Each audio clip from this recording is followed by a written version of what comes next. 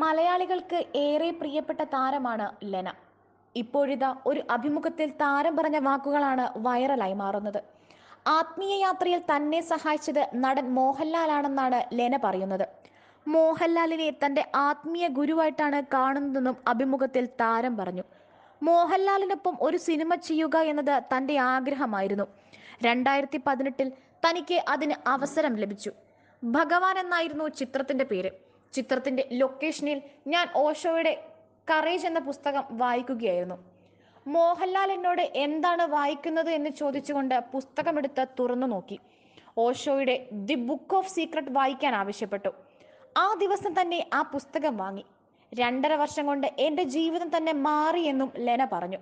കഴിഞ്ഞ ജന്മത്തിൽ താനൊരു ബുദ്ധ സന്യാസി ആയിരുന്നെന്നും ലെന അവകാശപ്പെടുന്നു.